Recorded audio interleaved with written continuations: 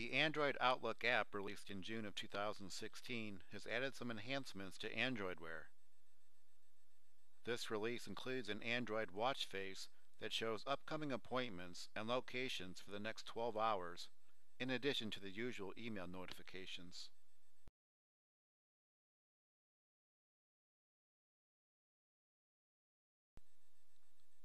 The watch face has a settings option which allows you to change the color of the watch face as well as the accent text. There are 12 background colors to choose from.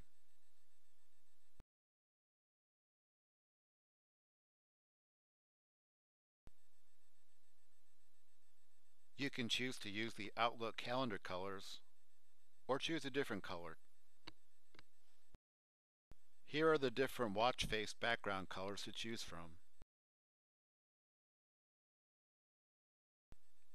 The email icon shows you how many unread emails you have, and you can easily view the emails from the watch.